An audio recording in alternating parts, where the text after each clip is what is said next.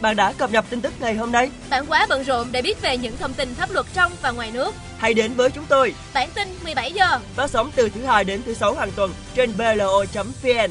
Bản tin 17 giờ, nhanh, nhanh chóng, chóng, kịp thời, chính xác. Các bạn đang đến với bản tin 17 giờ. Bản tin được thực hiện bởi báo pháp luật thành phố Hồ Chí Minh. Hôm nay, ngày 8 tháng 7, có nhiều nội dung chính như sau. Vụ trả thưởng nhầm tờ vé số độc đắc, ông cụ 70 tuổi phải trả lại 1,3 tỷ đồng. Nhốt con chủ nhà trộm đụng két sắt lấy đi 230 triệu đồng. Bị lừa vì tin trúng thưởng qua điện thoại. Một cán bộ vườn quốc gia núi Chúa bị đâm thiệt mạng. Vụ Bixi Đà Nẵng, công ty Đức Mạnh không tham dự giải quyết mâu thuẫn. Một người Việt bị trọng thương trong vụ nổ tàu điện tại Đài Loan. 11 cảnh sát Mỹ bị bắn tỉa, 5 người thiệt mạng. Và sau đây là nội dung chi tiết. Liên quan đến vụ trả thưởng nhầm vé số trúng độc đắc hơn 1,2 tỷ đồng tại Vũng Tàu gây xôn xao dư luận. Sau 3 ngày nghị án, sáng nay, Tòa án Nhân dân thành phố Vũng Tàu đã tuyên án trả nhầm vé số trúng độc đắc giữa ông Lô Tiến Bình, 51 tuổi, chủ tiệm vàng Kim Bình, chợ Vũng Tàu và ông Nguyễn Bùi, 70 tuổi. Theo đó, bị đơn là ông Nguyễn Bùi phải trả lại số tiền 1,3 tỷ đồng cho ông Lô Tiến Bình, nguyên đơn, còn ông Bình trả lại tờ vé số đã trả thưởng nhầm cho ông Bùi. Trước đó, ngày 22 tháng 12 năm 2014, ông Nguyễn Bùi đổi cho ông Lô Tiến Bình một tờ vé số trúng giải độc đắc của công ty sổ số kiến thiết Tiền Giang mở thưởng ngày 21 tháng 12. Quá trình giao dịch đổi tờ vé số, ông Bình cử nhân viên của mình là anh Trần Minh Thắng đến nhà ông Bùi để trả tiền và lấy tờ vé số. Chiều ngày 22 tháng 12 năm 2014, khi anh Thắng xuống công ty sổ số kiến thiết Tiền Giang thì anh và nhân viên công ty sổ số mới phát hiện tờ vé số đã đổi cho ông Bùi không trúng thưởng vì bị đảo hai con số 97 và 79 ở giữa dãy số. Cụ thể, giải độc đắc mở thưởng ngày 21 tháng 12 năm 2014 của Đài Tiền Giang có dãy số 349721, còn tờ giấy số đã đổi cho ông Bùi lại là dãy số 347921. Trước khi đổi tờ vé số cho ông Bùi, anh Thắng đã yêu cầu ông Bùi ký tên vào gốc tờ vé số và con ông Bùi là anh Tâm cũng đã viết họ tên của cha, số chứng minh nhân dân của cha vào sau tờ vé số. Ngay trong ngày 22 tháng 12, ông Lưu Tiến Bình quay lại nhà ông Bùi và yêu cầu ông trả lại tiền đã trả thưởng nhầm vì nhìn nhầm. Tuy nhiên, ông Bùi không đồng ý vì cho rằng tờ vé số của mình trúng thưởng vì có nhiều người dò. Công an xác định tại công ty sổ số kiến thiết Tiền Giang mở thưởng ngày 21 tháng 12 năm 2014 có 7 tờ vé số trúng giải độc đắc và người trúng đã đổi giải. Công an cũng tiến hành ghi lời khai của những người trúng vé số này.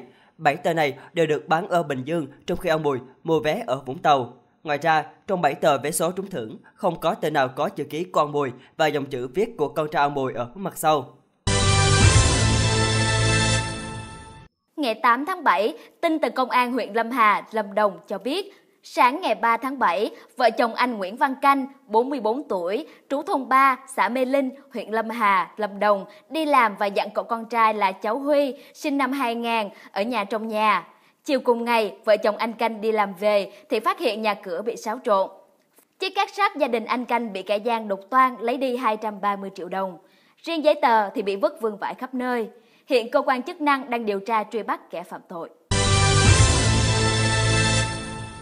Cục Quản lý Cạnh tranh vừa đưa ra khuyến cáo người tiêu dùng cẩn trọng khi mua hàng qua điện thoại vì có rất ít bằng chứng để tự bảo vệ quyền lợi của mình. Vừa qua, Cục đã nhận nhiều đơn khiếu nại về mua hàng qua điện thoại. Trong các vụ khiếu nại, người tiêu dùng kể lại rằng đã nhận được cuộc gọi từ các công ty thông báo mình trúng thưởng phiếu mua hàng trị giá cao. Ví dụ, để mua điện thoại Samsung Galaxy A8 chỉ cần bù thêm vài triệu là mua được. Người tiêu dùng đồng ý tin cậy và chỉ trả tiền khi nhận hàng. Tuy nhiên, người giao hàng đến nhà yêu cầu phải trả tiền xong mới được mở hộp xem sản phẩm. Khi mở hộp xem sản phẩm thì là điện thoại Mix A8 hoặc điện thoại dùng công nghệ của Samsung Galaxy A8. Người tiêu dùng phản ứng và khiếu nại, nhưng các công ty bán hàng qua điện thoại này từ chối đổi hàng, cho rằng người tiêu dùng nghe nhầm.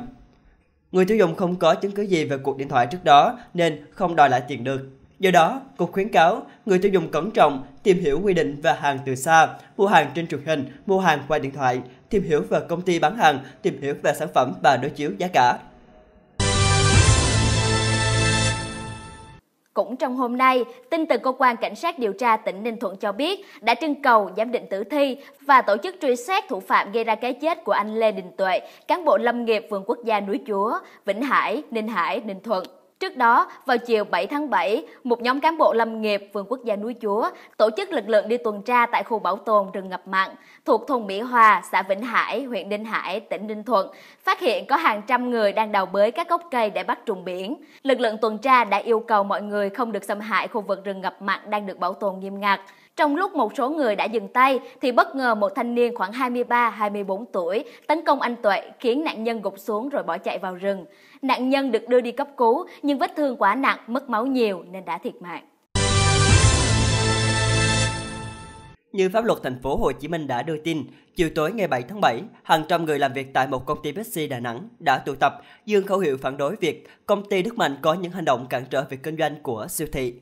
Nguyên nhân của vụ việc này là do trước đó, giữa Bixi và công ty Đức Mạnh đã lập hợp đồng thuê tòa nhà thời hạn 40 năm bắt đầu từ ngày 1 tháng 3 năm 2006. Bức xúc trước quyết định này, Bixi đã gửi đơn tới Trung tâm Trọng tài Quốc tế Việt Nam chi nhánh tại thành phố Hồ Chí Minh nhờ giải quyết.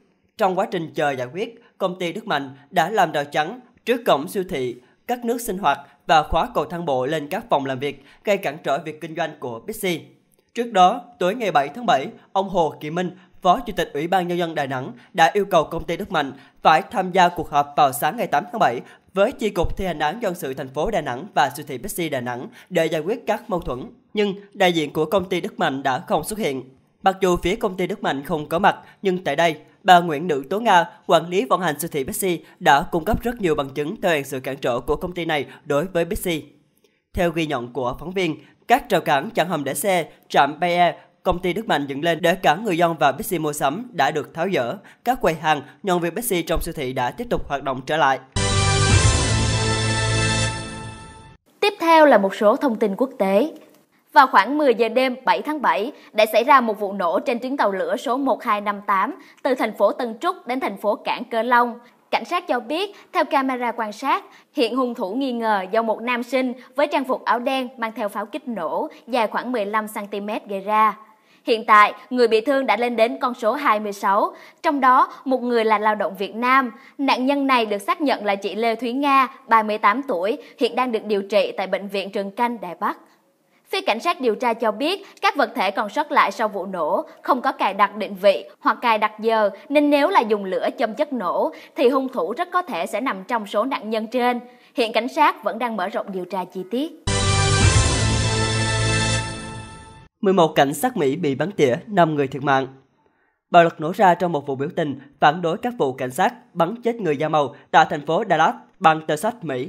Theo kênh truyền hình CNN, đã có hai tay súng bắn tỉa bắn cục 11 cảnh sát tham gia kiểm soát cuộc biểu tình, trong đó 5 cảnh sát viên đã thiệt mạng.